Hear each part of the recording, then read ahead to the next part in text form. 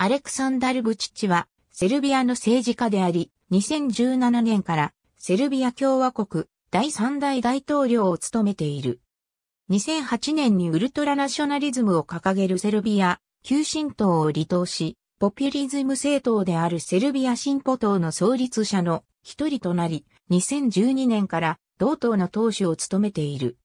ブチッチは2012年から2014年までセルビア副首相の職務に就いた後、2014年から2016年、及び2016年から2017年までの2度にわたってセルビアの首相を務めた。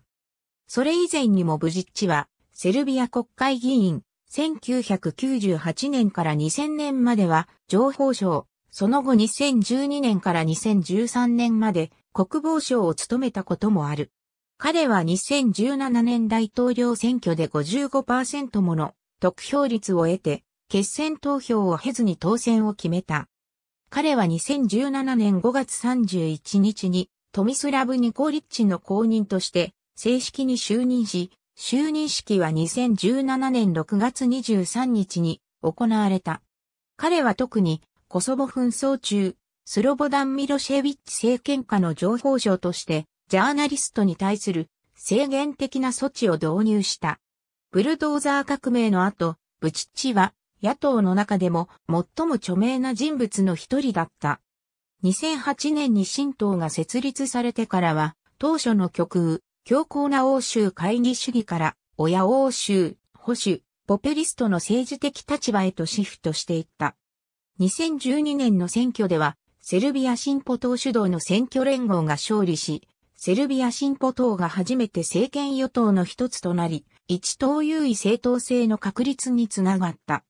2014年にブチッチが首相に就任した後は、国営企業の民営化や経済の自由化など、欧州連合への加盟プロセスを踏襲していくことを公約した。2015年12月、ブチッチが率いるセルビア代表団は、欧州連合と初めての加盟会議を行い、加盟に向けた初の章を開いた。彼はコスボとセルビアの政府間協力と欧州連合を媒介とした対話における重要人物の一人であり、関係正常化に関するブリュッセル協定の実施を提唱している。アメリカ合衆国の仲介による交渉を経て、ブチッチは2020年9月にコソボとの経済関係を正常化し、イスラエルのセルビア大使館をエルサレムに移転することで合意し署名した。彼は4つの自由を保障することを目的とした西バルカン諸国の経済圏であるミニ宣言権の提唱者の一人である。観察者はブチッチの統治を権威主義的、独裁的、または非自由主義的民主主義体制と表現し、理由として報道の自由が制限されたことを挙げている。2018年1月15日、セルビアの大統領として初めて日本の安倍晋三内閣総理大臣とベオグラードにて首脳会談を行った。アレクサンダル・ブチッチはベオグラードでアンジェルコとアンジェリナ・ブチッチの間に生まれた。アンドレイ・ブチッチは彼の弟である。彼の父方の祖先はボスニア中央部のブゴイの近郊にあるチプルジックの出身である。彼らは第二次世界大戦中にクロアチアのファシストであるウスタ社によって追放され、父親が生まれたベオグラード近郊に定住した。ブチッチによれば、父方の祖父、アンジェルコをはじめとする数十人の近親者が、ウスタ社に殺された。彼の母親は、ボイボディナのベチェイで生まれた。彼の両親は共に、経済学を専攻し、父親は、経済学者、母親は、ジャーナリストとして働いていた。ブチッチは、ノビベオグラードで育ち、ブランコ・ラディチェビッチ小学校を卒業した。その後ゼムンのギムナジウムを経て、ベオグラード大学法学部を卒業した。彼は、イギリスのブライトンで英語を学び、しばらくロンドンで商人として働いたこともある。ユーゴスラビアに帰国後、ボスニア・ヘルツェゴビナのパレで、ジャーナリストとして活動した。そこでは、政治家のラドバン・カラジッチにインタビューしたり、ラトコ・ムラディッチ将軍とチェスをしたこともある。若きブチッチは、レッドスター・ベオグラードのファンで、その試合をよく見に行っており、大規模な暴動に発展した1990年5月13日のディナモ・ザグレブとレッドスターの試合にも居合わせていた。彼の親類の家はボスニア紛争で破壊された。1993年、ブチッチはセルビアのナショナリズムと大セルビアの実現を目標とする極右政党であるセルビア急進党に入党し、同年の総選挙で国民議会議員に選出された。2年後、ブチッチは SRS の幹事長に就任した。彼は、サラエボを包囲していた軍隊を志願の上で訪問した SRS 党員の一人であった。1996年にゼムンの地方選で彼の党が勝利した後、初の公職としてピンキホールの艦長に就任した。1998年3月、ブチッチはミルコ・マルヤノビッチ政権の情報省に任命された。研究者たちは、ブチッチを20世紀末のセルビアにおけるメディア政策を形成する上で重要な人物だったと評している。ミロシェビッチに対する批判の高まりを受けて、ブチッチは政府を批判したジャーナリストに罰金を課し、外国のテレビ局を禁止した。彼は2014年に当時の自分が誤っており、それから変わったことを回想し、自分のすべての政治的過ちを告白することを恥じていなかったと述べた。この間、セルビアのメディアは少数民族を悪魔化し、彼らに対するセルビア人の残虐行為を正当化するセルビア民族主義のプロパガンダを放送したことで非難された。1998年、政府は20世紀末のヨーロッパで最も制限的なメディア法を採択し、違反行為を裁くための特別系犯罪裁判所を創設した。この法律は重い罰金を課し、すぐに支払われない場合は財産を没収する権限を与えていた。セルビアのメディアは国家の厳しい弾圧を受けており、外国メディアは異分子やスパイと見られていた。ヒューマンライツウォッチはコソボで死亡したアルバニア人をテロリストではなく人々と呼んだことで5人の独立系新聞、編集者が誤報をルフしたとして起訴されたと報告した。1998年9月下旬から10月上旬にかけて NATO がコソボへの軍事介入を示唆したため、政府は独立メディアに対する弾圧を強化した。さらに政府は大半の国民にニュースを提供していた国営ラジオやテレビの直接管理も維持していた。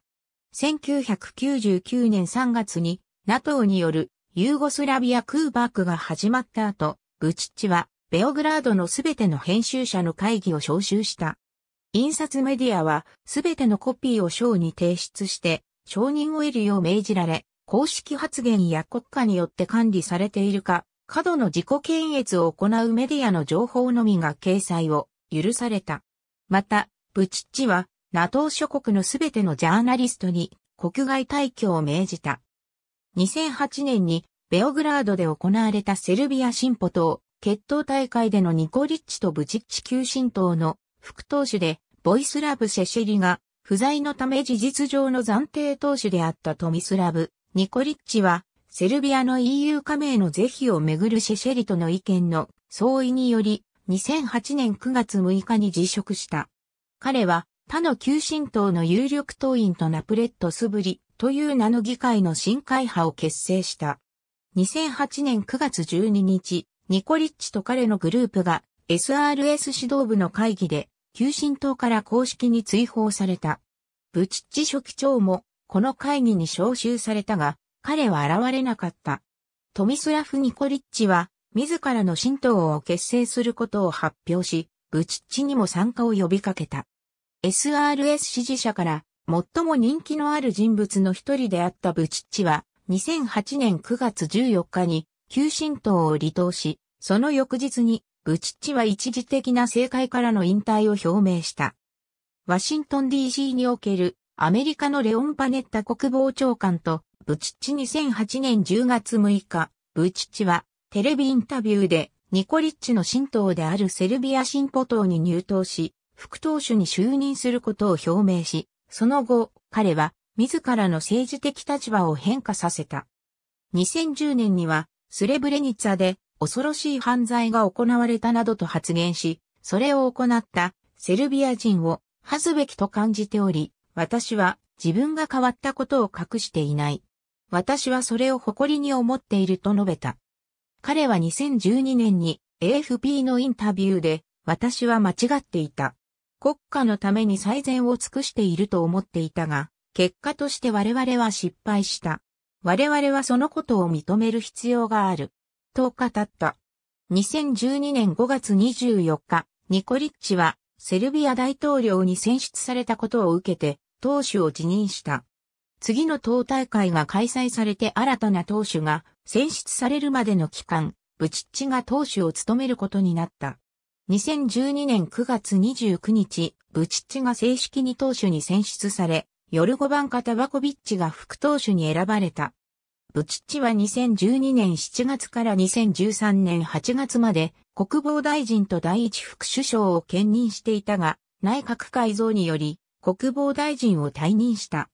表向きの政府トップはイビチャ・ダチッチ首相だったが、多くの政治アナリストは連立政権と議会における最大政党の党首として、ブチッチが政府内で最大の影響力を持っていると考えていた。2013年に結婚したタマラ・ブチッチ身長199センチメートルのブチッチは世界の政府首脳の中で最も身長が高い人物の一人である。1997年7月27日、ブチッチはラジオインデックスとスプルスカレックのジャーナリストである。クセーニア・ヤンコビッチと結婚し、2011年に離婚するまでに二人の子供を設けた。2013年12月14日、ブチッチはセルビア外務省の外交官、タマラ・ジュカノビッチと結婚した。ブチッチが大統領に就任して1週間後の2017年6月9日に、妻は息子を出産した。野党時代の彼は人気テレビ番組に頻繁に出演していた。2006年、ブチッチはピンク TV で放送された競争要素のあるトーク番組ザ・ピラミッドのセルビア版の第1シーズンの優勝者となった。彼は人道的なダンスコンテストプリーザム・ドゥースノバに参加した最初の政治家であり、深夜のトーク番組、今夜はイワン・イワノビッチと一緒にゲスト出演した最初の政治家でもある。また、バルカン半島で最も人気のある音楽コンテスト、ズベズ・デ・グランダの第3シーズンの1話にゲスト審査員として参加した。2019年11月15日、明らかな心血関係の問題のためベオグラードの軍病院に入院したが、3日後には退院したと報じられた。彼のメディアアドバイザーやベオグラード副市長を含む一部の関係者は、彼の健康問題がジャーナリストからの圧力によるものだと主張している。入院直後のメディア会見で、ブチッチはこれを明確に否定し、彼の健康問題が慢性的なものであることを認めた。2020年4月8日、ブチッチの22歳の息子が新型コロナウイルスに感染し、ベオグラードの感染症クリニックに入院したことが明らかになった。2020年7月、ブチッチは政治家を引退した後、子供のバスケットボール指導者になることを目標として、ベオグラードのスポーツ健康大学の学生となった。大学は入学の必須条件として3年間のスポーツ実技への積極的な参加を挙げていたが、ブチッチの入学後間もなく公式サイトから削除されたと、複数のセルビア人ジャーナリストが報告している。ありがとうございます。